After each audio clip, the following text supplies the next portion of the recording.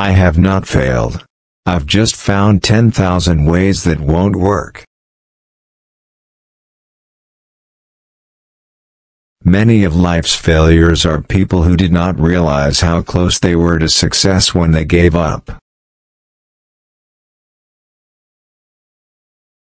We often miss opportunity because it's dressed in overalls and looks like work.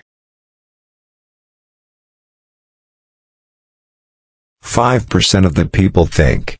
10% of the people think they think. And the other 85% would rather die than think.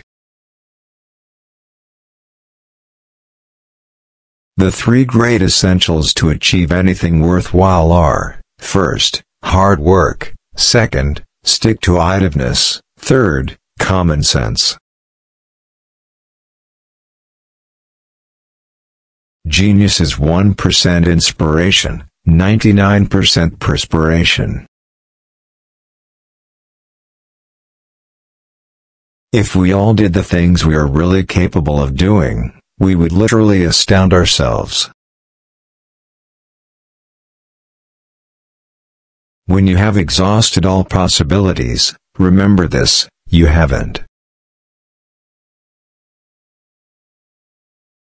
Non-violence leads to the highest ethics, which is the goal of all evolution. Until we stop harming all other living beings, we are still savages. Our greatest weakness lies in giving up.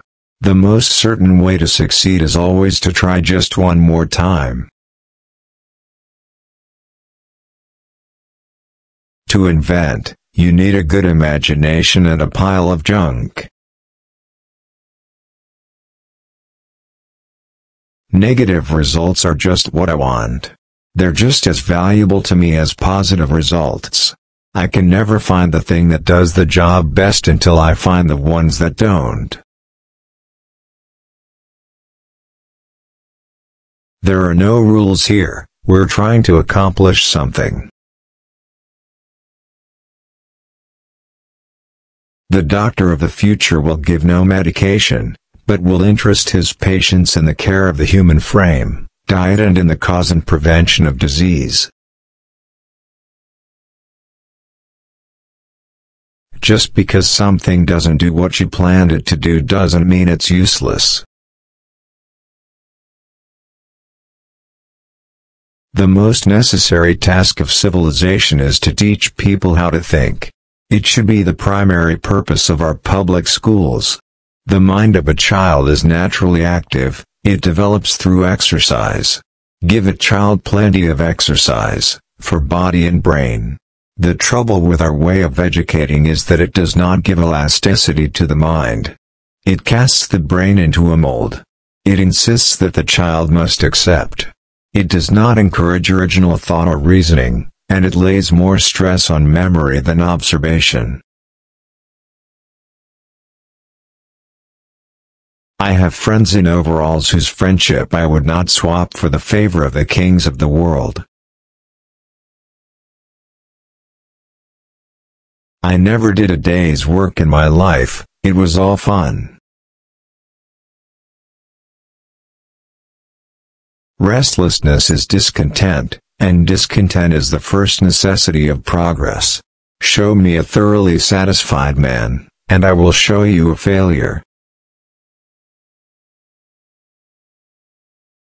We are like tenant farmers chopping down the fence around our house for fuel when we should be using nature's inexhaustible sources of energy sun, wind and tide. I'd put my money on the sun and solar energy. What a source of power. I hope we don't have to wait until oil and coal run out before we tackle that.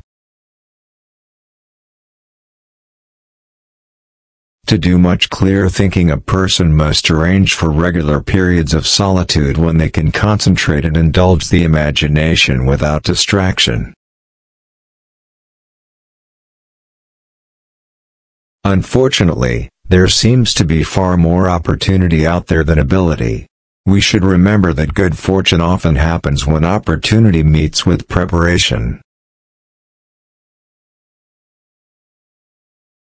Nature is what we know. We do not know the gods of religions. And nature is not kind, or merciful, or loving. If God made me, the fabled God of the three qualities of which I spoke, mercy, kindness, love, he also made the fish I catch and eat. And where do his mercy, kindness, and love for that fish come in? No, nature made us, nature did it all, not the gods of the religions. Everything comes to him who hustles while he waits. I find out what the world needs. Then I go ahead and try to invent it.